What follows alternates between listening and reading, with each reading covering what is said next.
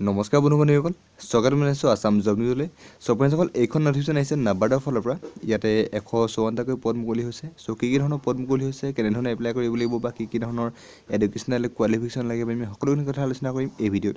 ঠিক আছে আমি আৰম্ভ কৰিছোঁ এইটো ৰিক্ৰুটমেণ্ট দুহেজাৰ বিছৰ কাৰণে।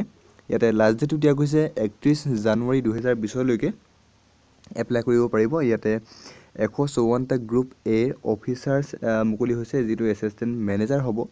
ইয়াতে এইখন শ্বৰ্ট নটিফিকেশ্যন আছে আপোনালোকে চাই ল'ব পাৰিব কোন কেইটা পদ আছে ঠিক আছে?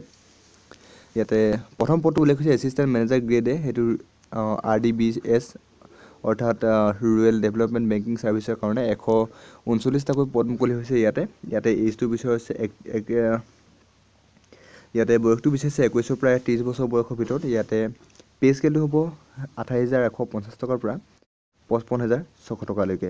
নেক্সট পদটো এছিষ্টেণ্ট মেনেজাৰ গ্ৰুপ এ ইয়াতে কাৰণে ইয়াতে টোটেল আঠটা পদ আছে। ইয়াতে এইজটো বিচৰা হৈছে একেধৰণে একৈছৰ পৰা ত্ৰিছলৈকে পে'টো একেধৰণে আঠাইছ হাজাৰ এশ পঞ্চাছ টকাৰ পৰা পঁচপন্ন হাজাৰ ছশ টকালৈকে। নেক্সট পদটো এছিষ্টেণ্ট মেনেজাৰ গ্ৰুপ এ ইয়াতে লিগেল ছাৰ্ভিচৰ কাৰণে টোটেল তিনিটাকৈ ইয়াতে এইজটো বিচৰা হৈছে একৈছৰ পৰা ত্ৰিছ আৰু পে'টো হ'ব আঠাইছ হাজাৰ এশ পঞ্চাছ টকাৰ পৰা পঁচপন্ন হাজাৰ ছশ টকালৈকে। নেক্সট পদটো হৈছে এছিষ্টেণ্ট মেনেজাৰ গ্ৰুপ ইয়াতে প্ৰট'কল এণ্ড ছিকিউৰিটি ছাৰ্ভিচৰ কাৰণে ইয়াতে পদ চাৰিটাকৈ পদ আছে।